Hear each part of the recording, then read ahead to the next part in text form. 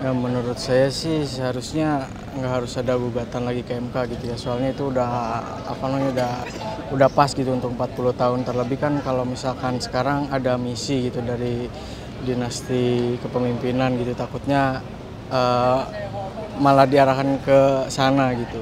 Biar yang muda itu biar bisa apa ya uh, punya tunjukin ide-idenya sama gagasannya sama penyegaran juga.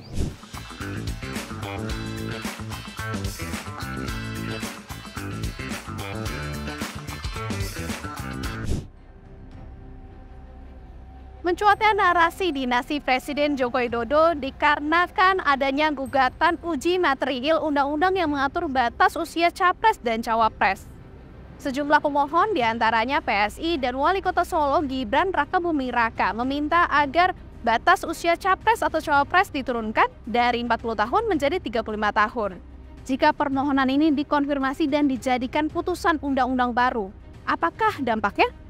Tidak tertutup kemungkinan setelah besok ini mereka putus dan mengkabul, tidak tertutup kemungkinan ada juga diatur-atur supaya pihak lain mengajukan permohonan uji tentang usia calon hakim konstitusi yang mungkin tadinya 40 atau 50 tahun, mungkin ya 35 juga boleh.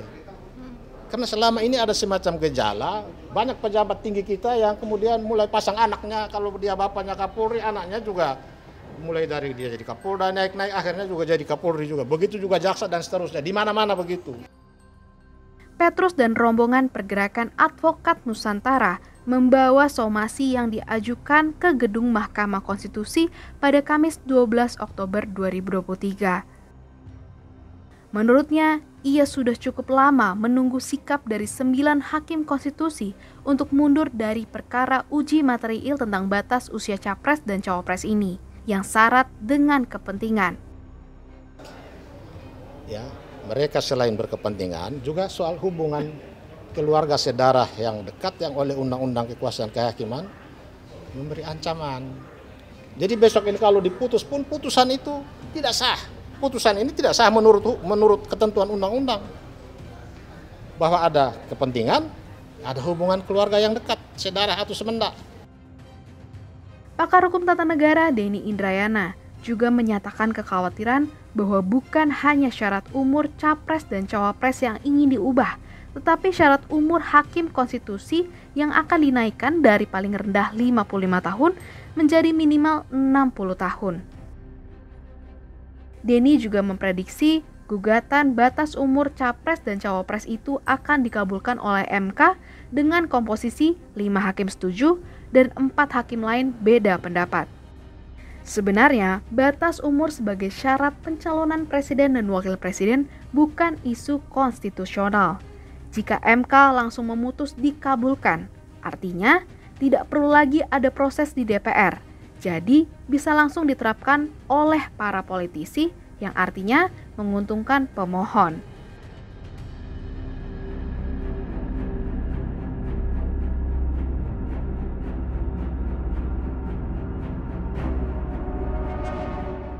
Sementara suara dukungan datang dari Ketua Umum Tunas Indonesia Raya yaitu organisasi sayap kepemudaan Partai Gerindra. Saat ditemui Tempo di depan kediaman Prabowo Subianto Kamis lalu, Rahayu Saraswati menerangkan, dengan jumlah milenial yang cukup besar yaitu 56% pemilih, ia berharap adanya perwakilan anak muda dan regenerasi di level kepemimpinan nasional. Oleh sebab itu, Saras mendukung Gibran bisa mendampingi Prabowo sebagai pasangan Capres dan Cawapres 2024. Alasannya bukan karena semata-mata karena hubungan keluarga dengan Presiden Jokowi, tetapi ada prestasi yang ditunjukkan oleh calon tersebut ya nggak mungkin juga kita menutup mata beliau bahwa beliau adalah ya secara biologis anaknya Pak Presiden Joko Widodo tapi itu bukan alasan utama kami, bahkan jauh dari alasan-alasan utama kami.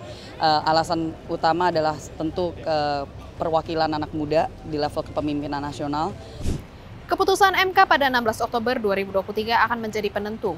Apakah regulasi dan posisi bisa didapatkan melalui relasi?